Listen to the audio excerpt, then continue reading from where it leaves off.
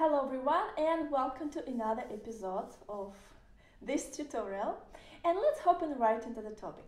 So regarding the uh, usage of orange juice on my fingers, I also strongly suggest to use it over here on your fifth and fourth uh, finger as well as uh, on your thumb. Because when we play the black keys we are usually play with kind of flat fingers.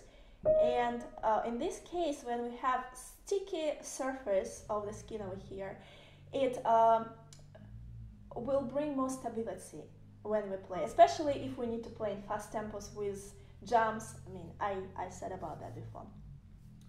So uh, and this is like kind of place where it's really really um, you can see it very clear because we're gonna play uh, this thumb all the time on the black key, uh, key and then when we go down especially here this is so important to have some stability here when we go down. So when it stick itself to the keys it works just amazing and it, it um, helps you to play everything effortless. Okay so uh, another trick. So uh, here we have this trill in our right hand kind of trill right? Uh, and you will say that um, there is no position change so we don't we can play basically like this right we don't have to move our elbow but uh, it's very easy to get stiff in our hand muscles if um, if we keep static position uh, for a long time uh, with repetitive motion like this so I don't know how I would play it when I was a teenager. Thank God I never played it that time. I was probably like, oh my God, this is the hardest part in the whole etude. Uh, so anyways, uh, here is a little trick that uh, you can use actually in similar parts. So what we need to do is first to establish constant moving, breathing within the muscles to avoid static that leads to tension. And uh, first we'll need to move our elbow very clear. So as you can see on the score, uh, I circle first and third notes out of the set of four sets of notes. So that means on the first note we're gonna move elbow to the right, and on the third note to the left. Of course, it's all connected uh, with wrist movement that is also engaged and follows the melody pattern. So the base, uh, the, uh, the basic movement looks like this.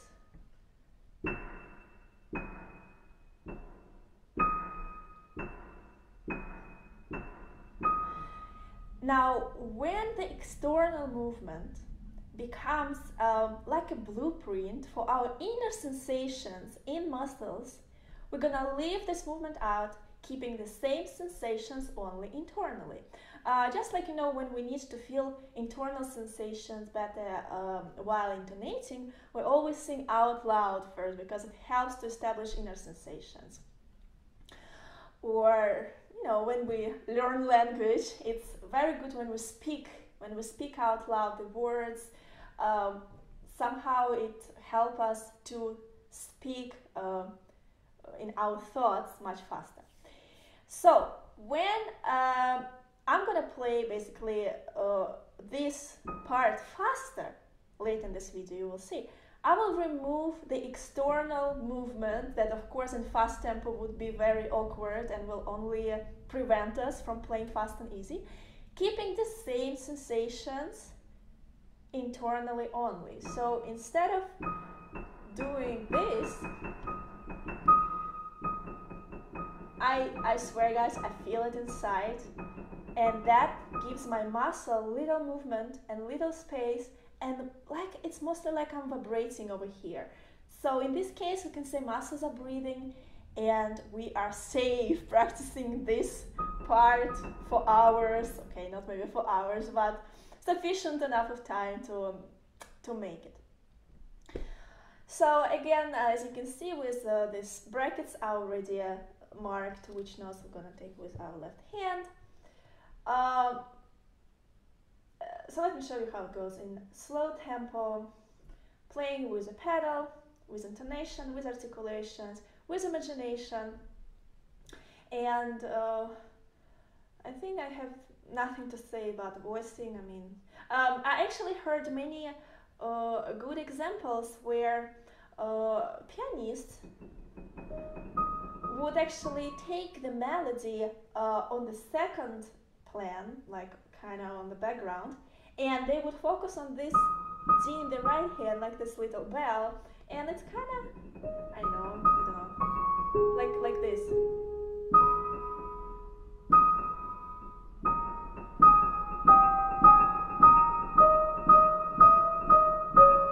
So constant um, sound of this D like a little bell, but I'm just going easy here, guys. So I'm just gonna uh, voice the melody only. So that's how it goes.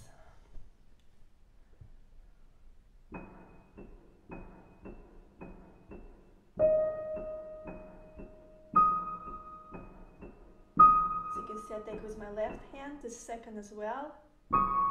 And then together I move elbows here. And from 2, 3 in my right hand I go to 5, 4. And playing this fifth in both hands together. I'll show you one more time. I think that's kind of important.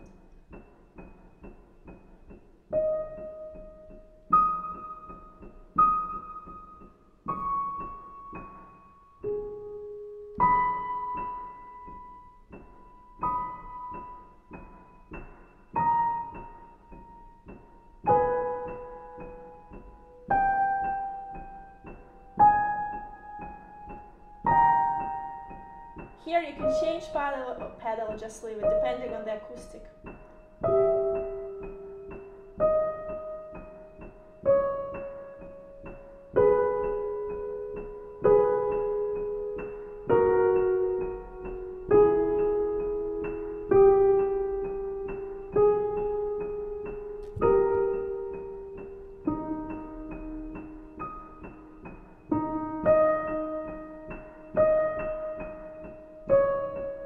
Again together, fifth fingers, and with half pedal.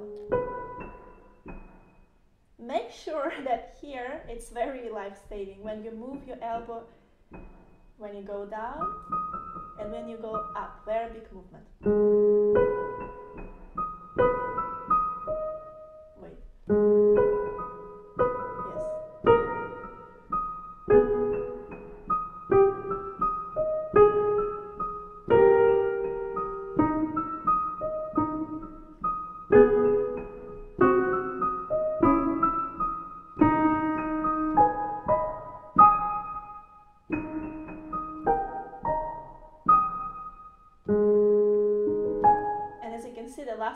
Taking with my right hand. So it's effortless, yes, yet um, impressive.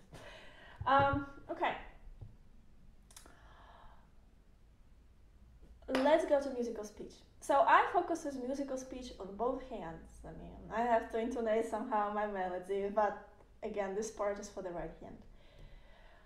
But um, basically, mostly I'm keeping in mind and intonating very intensely these seconds all the way. Combining them with this sensation of moving my elbow basically on right and left. So that's what I have in my mind.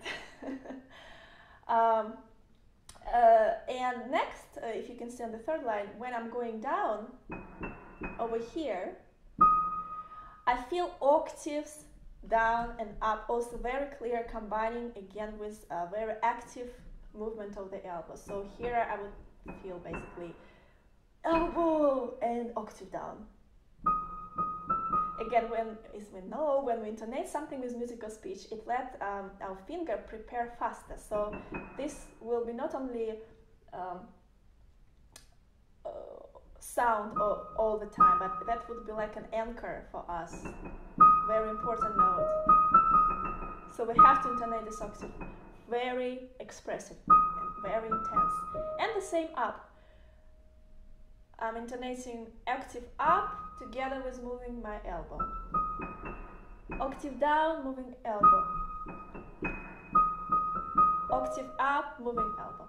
So that's regarding the musical speech. Let's play on, on just one time.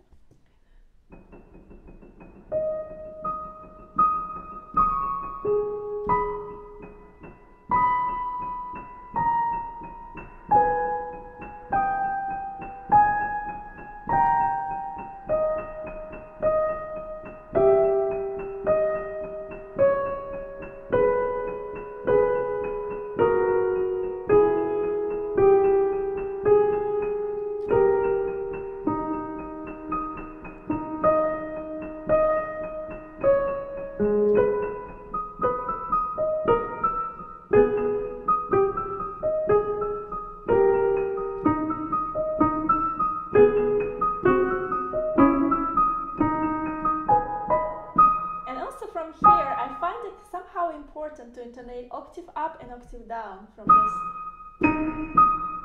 It helps. Be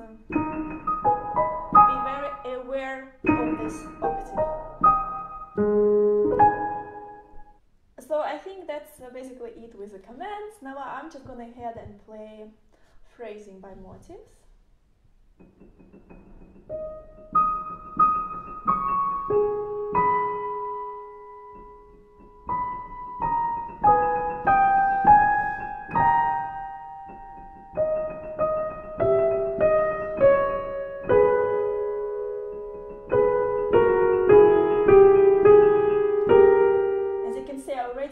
My movements uh, faster, smaller because I'm playing faster.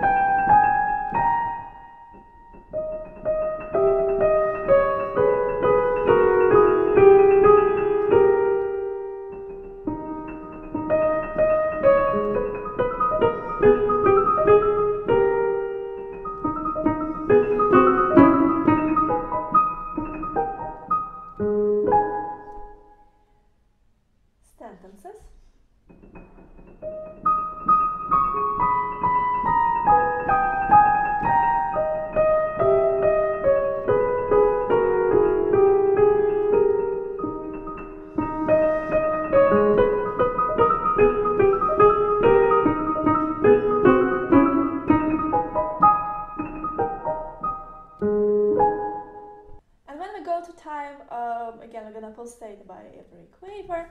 And as you can see, the last bar, he kind of writes uh, Smarzanda, or Smarzanda, I don't and um, please, as I always say, any changes or deviation from the tempo, we have to also feel organically within us. Not just, okay, I'm moving my fingers slower, so I'm slowing down yet. No, everything should go from the inner sensations first. So let's say we're gonna keep this animated tempo for now. And at the end, dun, dun, dun, I'm gonna feel, I'm going slow down. And I'm gonna feel it really. Then I play it. Okay. And again, we combine time with uh, image of course, as musical character. thank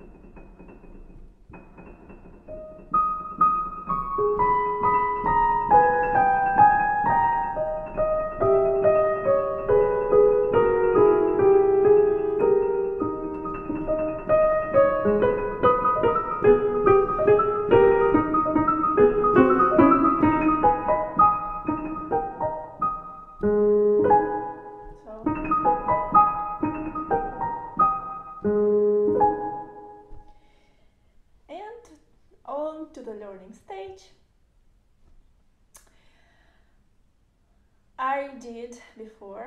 Uh, by every sentence, repeating several times in different tempos. So now I'm going to show you two sentences in animated tempo first. I mean, I already show. So let's go to fast tempo. So when I'm gonna play, and let's see if I would have any difficult parts right away. So when I'm gonna play in this fast tempo, inside I will always have the sensation while intonating everything with musical speech and thinking about phrasing, of course.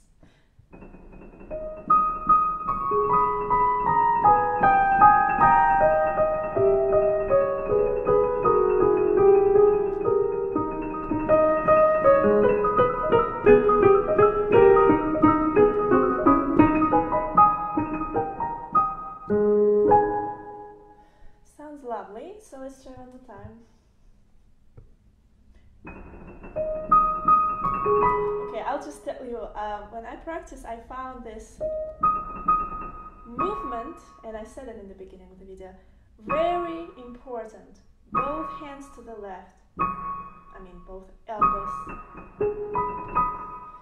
Uh, what else did I find? Um, I mean, I also found this. I told you when you go down and up, movement of elbow very important. And basically, it. Um, there wasn't. It, wasn't really hard at all. Actually, I find that. Uh, more I'm coming to the end, easy it becomes. It feels like the most hardest part in the beginning. Uh, I really mean it.